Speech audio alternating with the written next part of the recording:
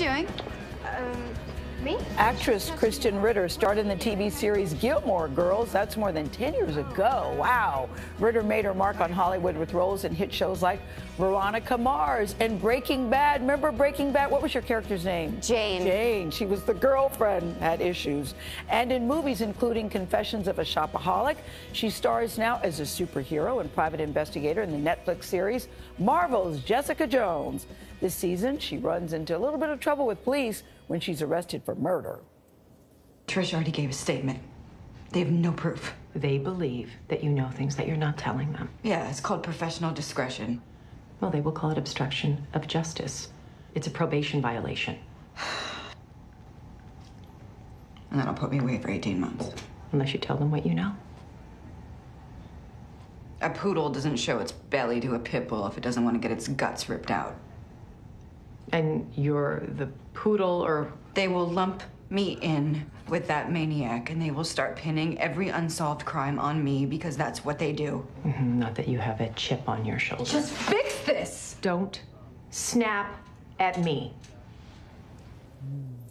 If she was smart, she would not snap at you because we know you got superpowers, Krysten Ritter. So let's talk about the end of last season because you end up killing the, your tormentor. Yeah. Killing him in a very violent way. Yeah, right to his And- face, yeah. his neck. How- As of last resort. As of last resort. And how did that feel to you? Because he had been tormenting you all season, and now you're coming into the new season. But talk about what that was like for you to finally say, okay, I got you. It was really, it was really exciting. It was an exciting moment for the character. It was, it was triumphant. It was her being strong. Um, I remember when I got the episode script when that happened, I, I cheered. I was uh, because it, it, it needed to happen. Um, it was really a difficult journey for Jessica to get to that point. Yeah. Um, she doesn't want to be a murderer. Yeah. Um, but that was really the the only option for her. But now she's time. dealing with the aftermath of that. And Yeah. I'm wondering if you're if you have conflict about the powers that you have. Yeah, Jessica has a lot of contempt for the powers that she has. Um, she is a girl that is marked by by trauma. Um, she she struggles. She has PTSD. She drinks too much.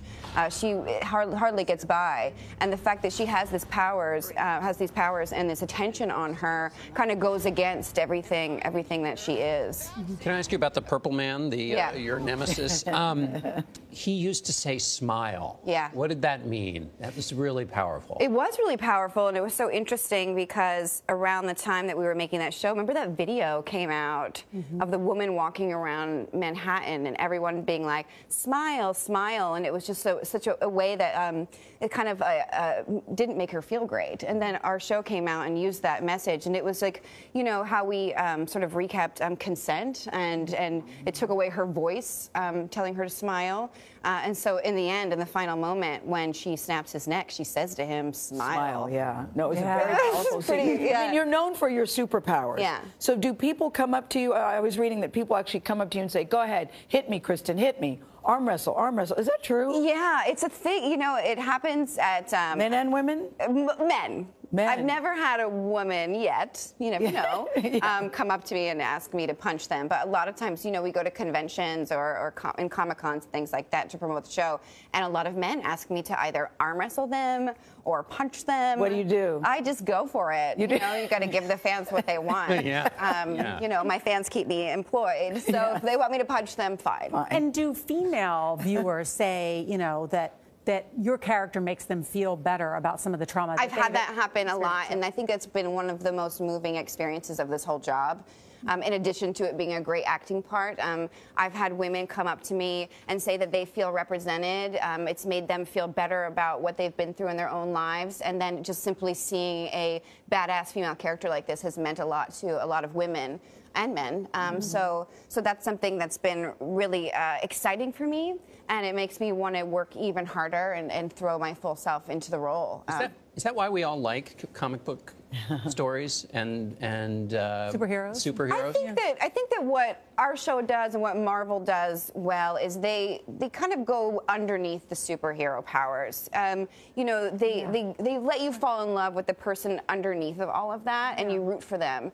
Um, you know, Joe Quesada at Marvel talks about how you don't just like talk about the guy in the suit; it's the guy under the suit. And I think that's what Jessica Jones does specifically. Where it's such a personal story, um, and and we, we really get into her her psychological journey. That's why the backstory and the origin story are Let's always get- so important. Yeah. Can we talk about the girl under your suit? Sure. Yes. I'm much more fun than Jessica Jones. I know. So I love that you grew up in a farm, on a farm in central Pennsylvania. Yeah, northeastern Pennsylvania, about three and a half hours uh, on the bus, door to door. to I New York love you were discovered at the mall. And I was discovered at the mall. were you at Casual Corner, Limited Express? What? I think the pretzel place. What were you doing? I think the, pe- the pretzel place was near. I think I may have been in front of At- a Auntie Anne's, yeah. Auntie Anne's, Yeah. so, so good. somebody came up to you and said what? Um, there was a scout from Elite Model Management, which I had heard of, um, uh, which is a real agency. Yes. And they came up to me and my mom and asked if I if we had ever thought about modeling. And I, I think my mom and I looked at each other like, no. No. um, so so that was uh, uh, sort of how I got my foot in the door as a teenager. Um, and then from there, I lily padded into um, commercials and acting. Well, you play a badass character, but guys, she also knits. I know. I can't imagine you sit because that's such a Nana thing. I knitting know. to me. I know, but I'm making it cool. Yeah. That's right. Um, yeah, you know, it's a way. It's a great way for me to have balance, especially when I'm playing a dark character like Jessica Jones, Yeah. like knitting on the weekends or, or at night when I can. It really helps me kind of like shut it down, and it's it's just it's very meditative, and I love creating something with my hands. Who taught you? My grandmother taught you me. go. My Grammy. Taught All right. I have to be a dark go. character and Congrats. that there. Yeah. Krysten Ritter, thanks. Thank you very much. The second season of Jessica jo- of Marvel's Jessica Jones begins streaming on Netflix tomorrow.